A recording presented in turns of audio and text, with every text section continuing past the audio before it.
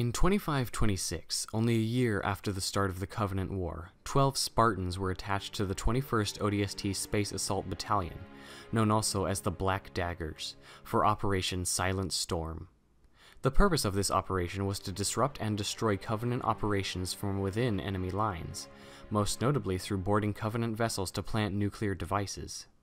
The Spartans, including John 117 and Blue Team, had already boarded and eliminated two Covenant vessels prior to this assignment.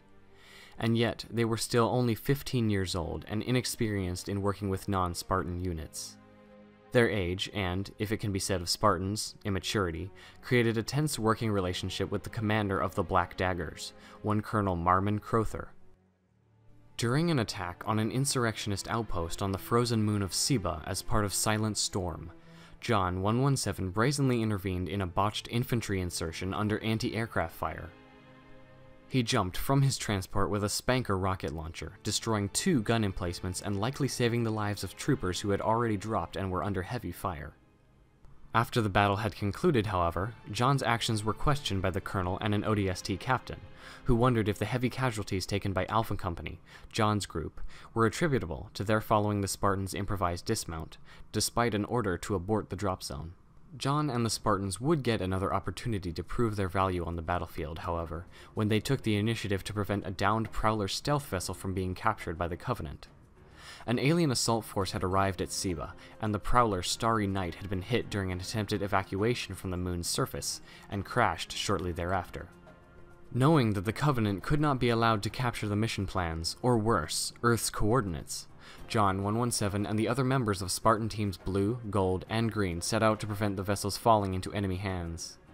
They were able to save the few survivors of the crash, and set a Fury-class nuclear device on board the Starry Night to detonate.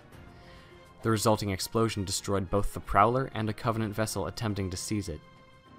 It was this rescue and asset denial which changed Crowther's mind about the Spartans. For the next few weeks, Crowther began to involve John and the Spartans in closely guarded missions meant to improve the likelihood of Silent Storm's success. During this time, John too had done some reevaluating. He had come to recognize that the Colonel's original reticence had been warranted, that the Spartans' relative lack of field experience was a weakness that needed correcting, before they could be expected to survive as many special ops missions as had Crowther's oldest Black Daggers. It was before a major strike on a Covenant supply world that Crowther's change of heart concerning the Spartans had its greatest manifestation.